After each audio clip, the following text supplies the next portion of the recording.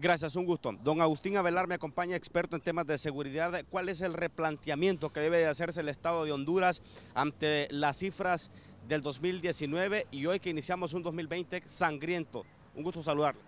Mire, ve, es preocupante para todo el mundo definitivamente, pero, pero hay un factor que no hay que perder de vista y es el tema de lo que ha ocurrido con la intervención en los centros penitenciarios. O sea, este repunte no crea que es algo, es una improvisación, tiene que haber eh, algo atrás, igual con lo que pasó en los centros penitenciarios. Esto tiene que ver con crimen organizado. Se trata de alguna manera de desprestigiar, se trata de alguna manera de, causar un, impacto. Usted no crea que al, hacer esa intervención en los centros penitenciarios no iba, iba, a haber una reacción. siempre iba a ocurrir. Entonces, ese, ese es el efecto. ¿Es un repunte provocado por lo que se ha combatido el crimen organizado? Así es, pues. Así es, o sea, eh, de repente no vemos los resultados tan obvios porque definitivamente ellos están molestos, pues.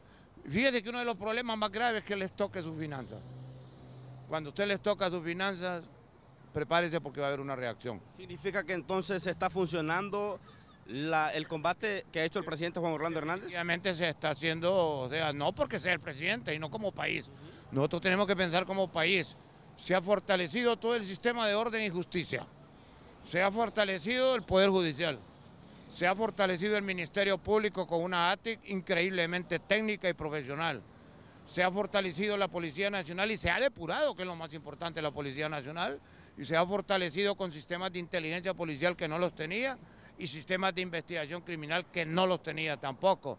Y se ha fortalecido las Fuerzas Armadas con una capacidad mayor para respuesta y se ha fortalecido la Policía Militar. Don Agustín, un placer siempre saludarle, experto en temas de seguridad, dialogando con nosotros. Junto a mi compañero Luis Zelaya voy con ustedes al estudio principal.